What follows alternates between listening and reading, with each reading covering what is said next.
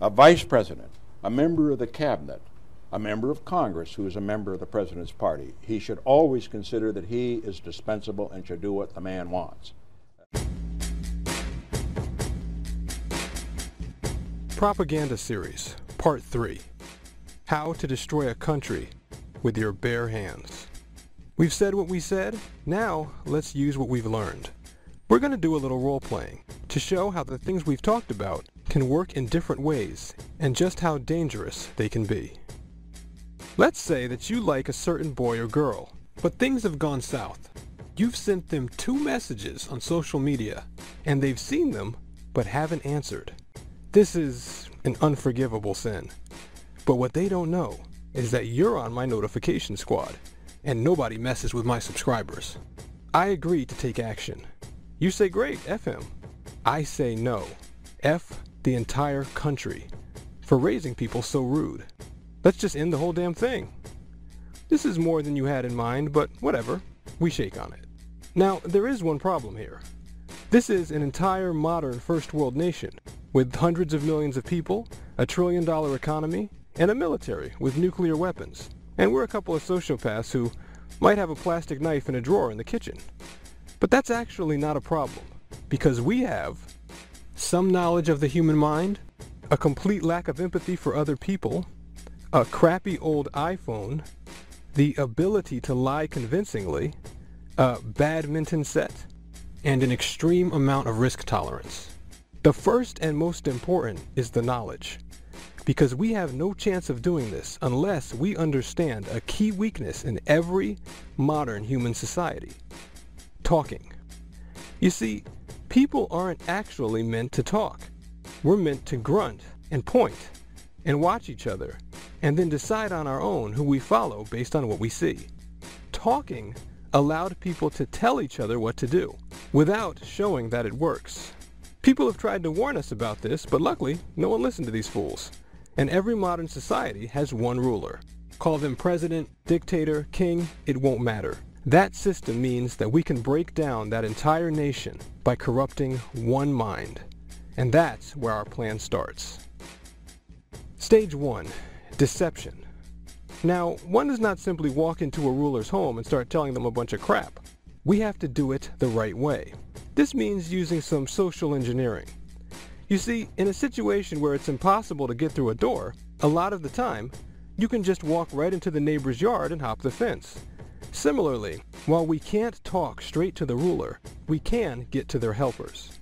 And if we impress them, they'll bring us right to them. This is how Joan of Arc got to meet the King of France. But she was able to predict the results of battles, and we're not so lucky. So instead, we'll use our crappy phone. We look up the addresses of every assistant or cabinet member who has access to the ruler, and email them a prediction about some upcoming elections. Half of those will be dead wrong, but the other half will be right. We send another prediction to that half, and so on down until we have one or two advisors left that have a list of perfect predictions. Now, the creepiness of our phone is key. We want the emails unsecured so they go to the spam folder and get ignored. We'll approach the advisor that's left and have him check his spam folder himself and see our magical ability. If this won't work, there's other scams we can use. But let's assume it does. We're now introduced to the ruler as people who have some incredible political knowledge, and we have important things to tell him. But we do not want any reward or any title. We're just humble townsfolk who want to help. This will make sure that the ruler doesn't see us as having any agenda, and the current advisors are not threatened by us. That humility, combined with the fact that we're so different from what they expect, will make our words carry more weight than anyone else. Now, our next order of business is to convince the ruler to change the government. But we'll do this slowly and carefully. We'll protect the ruler's ego at all times. A just question, my liege. We'll appeal to the need for the ruler to have greater control over the country. And we will use indirect argument. Whenever there's a debate, it will be between us, while the ruler simply listens. And the side we want will win every time. Eventually, since we're the most humble and the most flattering, the ruler will have us around the most, which means they'll be surrounded by our point of view. And just like anyone else, their mind will start to gradually align with what the people around them think. In this way, if we're patient, we can install whatever political plan we want in their head. Now, which one should it be? Whatever you hate the most. If you take any one of them far enough, they can create hell on earth. And that's exactly where we're headed. Stage 2. Decay. At this point, you might think we hit a brick wall. Mr. President, I don't believe that's on your agenda today. Because unless our good-natured head of state is a dictator, there are checks on their power, which will stop them from changing the government. But you see, the laws of man are actually just instructions on a piece of paper. Sometimes it's a really old and impressive looking piece of paper, but that's still all it is. Its only power is what it makes people do. And if you can convince those people to do something different, the paper means nothing and our newly convinced ruler can break down the belief in that paper the same way. After all, it's out of date, needs just a few tweaks, and the atmospheric peer pressure the ruler can create will cause enough support to gradually dismantle it. Eventually, the country is forced under a system that does not work.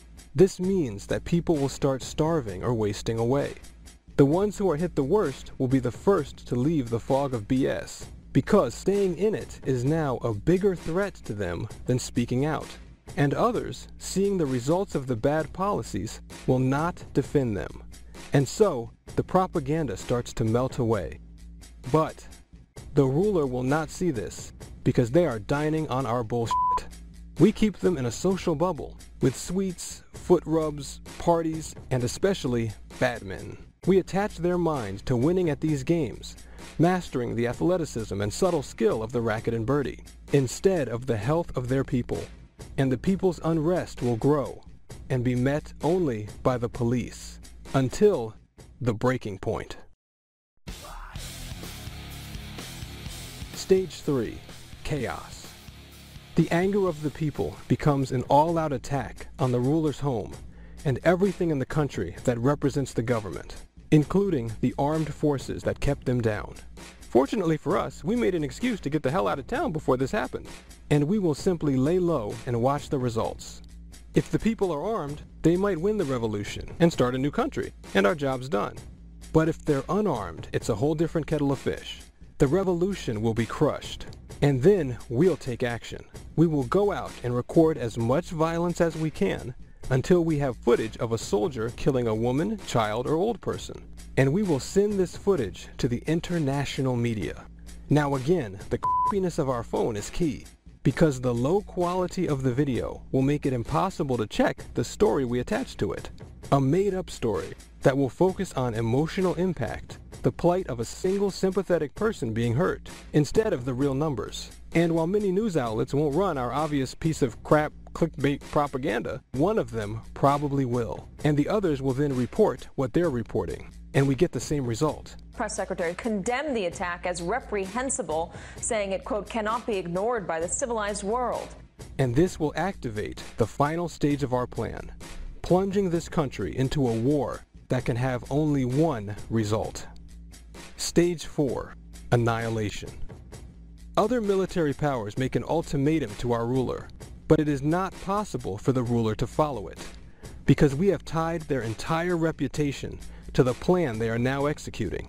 Abandoning it would lose so much status that it would be the same as death. So they are forced to ignore the threat and continue what they're doing, even as their own generals abandon them. And likewise, the countries that made the threat are now forced to preserve their reputation and follow through no matter what or who they end up destroying. This probably sounds crazy, but this is exactly what caused the Cuban Missile Crisis and every humanitarian war in history. Dictators do not surrender. So all negotiations fail. And eventually, warnings are issued to everyone in the country. Whoever can leaves, and hopefully those that can't find a fallout shelter, which is where we are when the bombs fall. And after the smoke clears, when it's all gone, and the foreign armies liberate the country, we come right out with the other survivors. They check our backgrounds and find out exactly who we are. Nobody. We take a boat to our new home, and when the coast is clear, we write a book about our experiences. getting rich and living happily ever after, until someone else ignores our messages.